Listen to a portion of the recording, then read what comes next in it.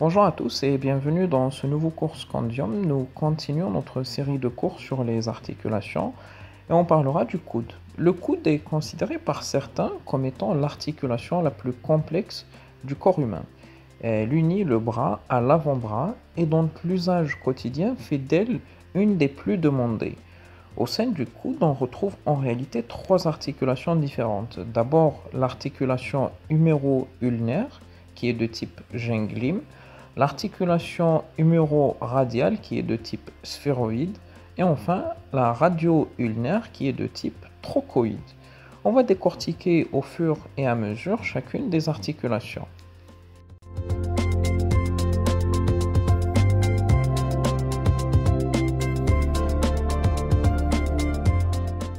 Parlons tout d'abord des surfaces articulaires qu'on y retrouve.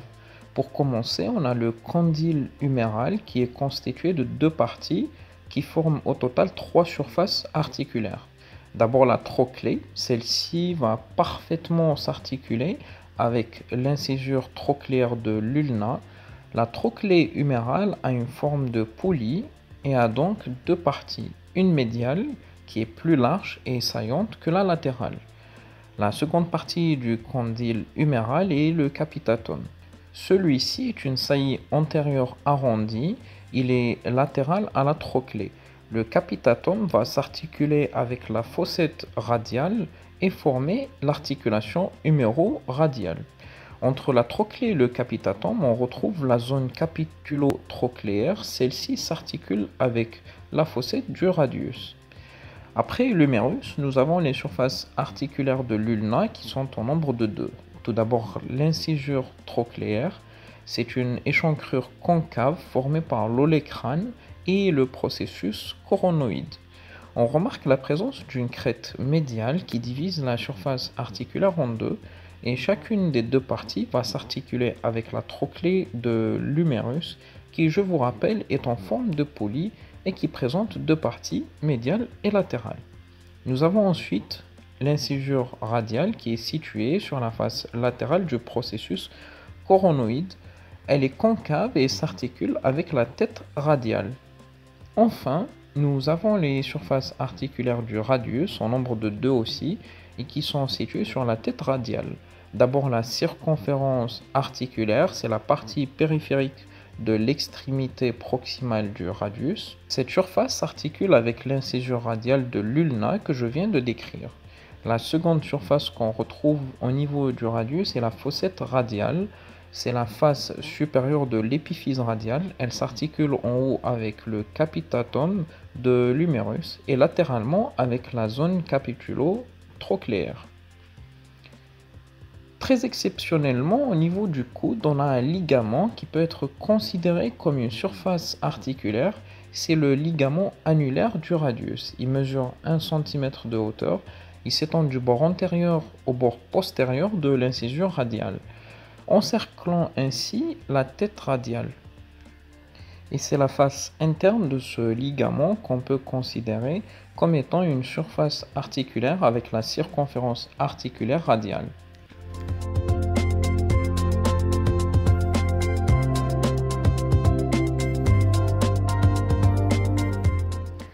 Parlons à présent des moyens d'union du coude. Tout d'abord, on retrouve une capsule articulaire qui comprend une membrane fibreuse ainsi qu'une membrane synoviale. Tout d'abord, la membrane fibreuse recouvre l'articulation. Elle prend attache au niveau de l'épicondyle médial et la fosse radiale, coronoïdienne et olécranienne. Sur le radius, celle-ci s'attache sur le col du radius et sur les incisures trochléaires et radiales de l'ulna. La membrane synoviale est séparée de la membrane fibreuse par un tissu adipeux. La membrane synoviale se réfléchit au niveau des insertions, créant ainsi des récifus, dont le plus prominent est le récifus saciforme. Les ligaments qu'on retrouve au niveau de l'articulation du coude sont d'abord le ligament antérieur. Il est donc visible antérieurement en considérant une position anatomique de référence. Il s'étend de l'épicondyle médial au latéral et à la face antérieure du ligament annulaire. Les ligaments collatéraux ulnaires et radial qui renforcent l'articulation et la soutiennent lors des mouvements de flexion et d'extension. A noter que la rupture du ligament collatéral radial cause la luxation du coude. Enfin, le ligament carré qui s'étend du col du radius au bord inférieur de l'incisure radiale.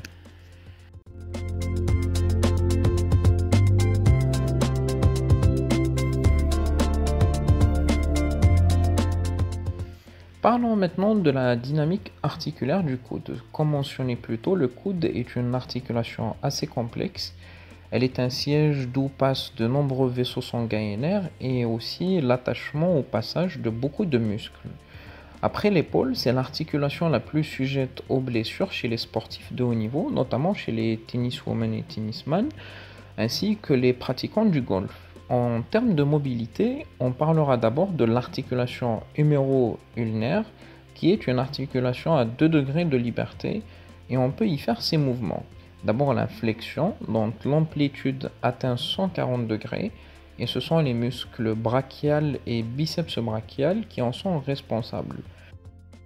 Ce mouvement de flexion est des plus importants car il nous permet de nous nourrir, nous laver effectuer divers gestes au quotidien, bien que certains gestes soient malheureusement néfastes pour la santé humaine, comme le fait de fumer. On peut bien se dire qu'on a prévenu que fumer tue, mais on a aussi prévenu que ne pas fumer tue aussi, d'où la faiblesse de l'argument peut-être. L'extension est très réduite, son amplitude est d'environ 5 à 10 degrés. Elle est bloquée par l'ancrage de l'olécrane de l'ulna à la fosse olécranienne de l'humérus, et c'est principalement le triceps brachial qui en est responsable. La seconde articulation, qui est la radio-ulnaire, plus précisément l'articulation proximale, car il existe aussi une articulation radio-ulnaire distale. Le mouvement des deux est lié et coopère pour effectuer les mouvements de pronation et de supination. Afin de retenir les deux mouvements, il faut simplement penser à la pronation comme l'action de prendre, comme prendre une pomme, et la supination est assimilée à l'action de supplier et de prier. L'amplitude de cette articulation peut être étudiée selon différentes positions du coude. D'abord, si le coude est fixé et fléchi à 90 degrés, le mouvement de pronation, donc le fait de prendre, a une amplitude d'environ 80 degrés et la supination a une amplitude de 85 degrés. Si l'on considère un coude en extension, les deux auront une amplitude proche de 90 degrés et l'amplitude totale donc est de 180 degrés. Afin d'effectuer le mouvement de supination, on fait appel aux muscles supinateur et biceps brachial.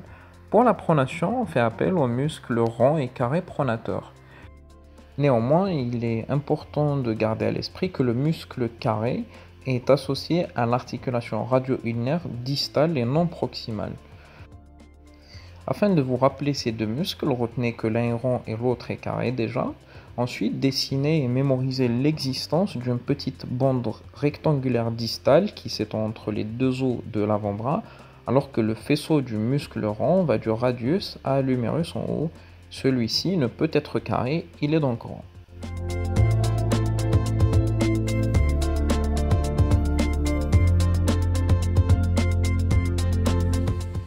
On nous a posé une question dans les commentaires concernant la signification de la luxation. La définition la plus simple donnée pour la luxation sur Medline Plus est le déplacement d'un ou plusieurs os de leur position physiologique. Une luxation est le résultat d'un impact de l'articulation sur une surface solide, comme lors d'une chute, d'un coup, comme c'est le cas des accidents de la route, ou parmi les sportifs pratiquant des sports impliquant un contact physique ou tout autre type de trauma.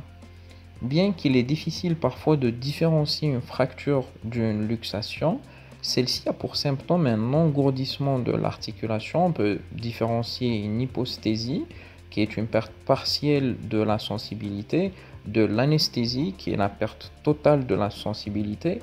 Une articulation déplacée de son foyer est aussi très douloureuse, surtout quand on essaie d'effectuer des mouvements l'impliquant. Elle est souvent enflée, accompagnée ou non d'un hématome. Et bien évidemment, on peut parfois observer le déplacement des deux os. C'est une urgence et on peut avoir un impact négatif sur les éléments de l'articulation tels que les ligaments, les muscles, mais aussi les nerfs et les vaisseaux avoisinants. Concernant le coude, il est la deuxième articulation la plus sujette aux luxations. Voici donc un cliché d'un coude normal et voici une articulation déplacée. On observe très clairement le déplacement de l'ulna par rapport à l'humérus. C'est ce qu'on appelle une luxation postérieure, c'est-à-dire que l'humérus est en avant et l'ulna est en arrière. Le contraire est une luxation antérieure et là, on a l'ulna qui se retrouve en avant et l'humérus en arrière.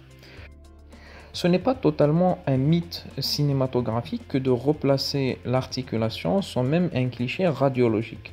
C'est souvent une prise en charge immédiate effectuée par des médecins, mais il est plus approprié de prendre en charge le patient en clinique après sédation en IV sa détente évidemment.